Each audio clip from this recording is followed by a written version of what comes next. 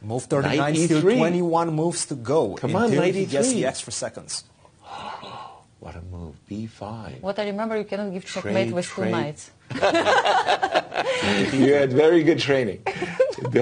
So he takes all these pawns. Pawns. there it was. Finito. That was the move I had expected a moment ago, by the way. One.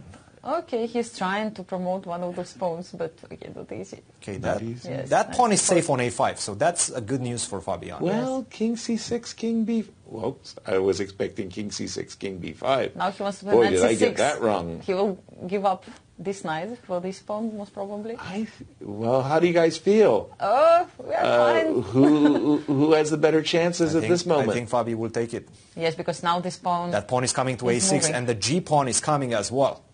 Wow, a6, c4 is Mm, not don't think you're in exactly on the square. I don't think you're in time right now. Go g5. I got to come back with the king G5. now. d5, king g4.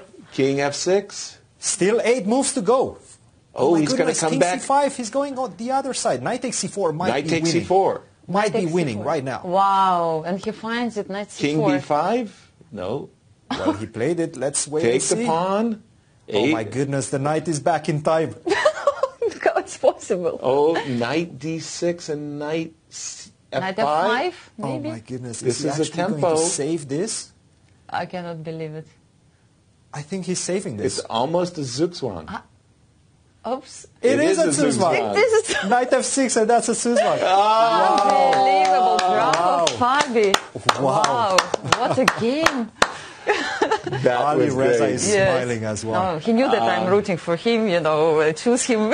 And even our producer, Tom. It's not a zugzwang. Zugzwang. That's a He knew what was going on. It was